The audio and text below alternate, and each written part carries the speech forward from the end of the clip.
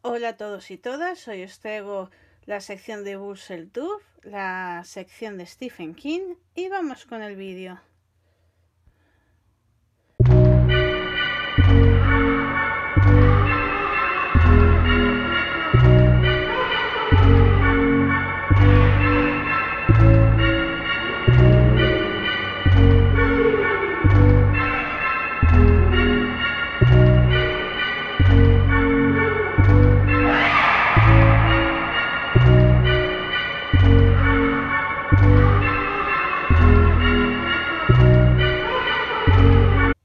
Bueno, esta es la estantería donde tengo todos los libros que ya he leído Stephen King. No, lo primero en cuanto a los adornos, veis que está ahí Pennywise con el balón, con el globo. Tengo también aquí Stephen King. No se ve muy bien, pero lleva un libro ahí. Luego tendría este vaso con una calavera. Tengo también Stephen King, el tendero en en It, este esqueleto de mujer que lo podéis ver con un micrófono.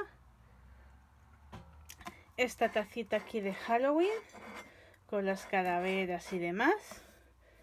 Tengo una velita aquí de It y un vaso de con la cara de Stephen King.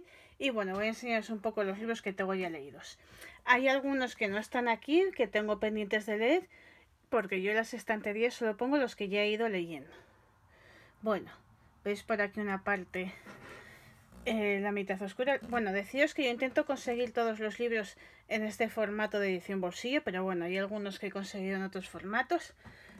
Como os digo, puede ser la mitad oscura o maleficio.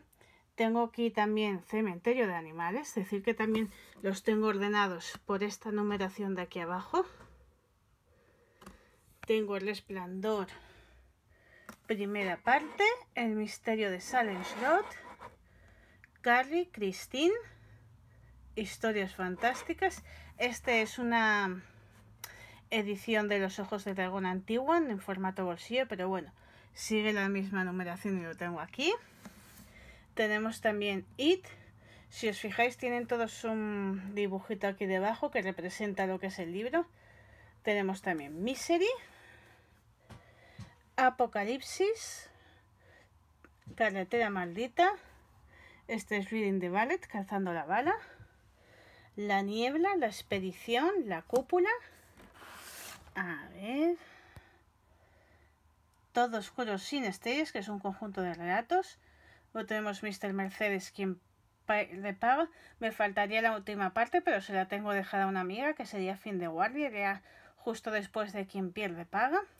Tenemos también el visitante, que lo tengo también en formato normal.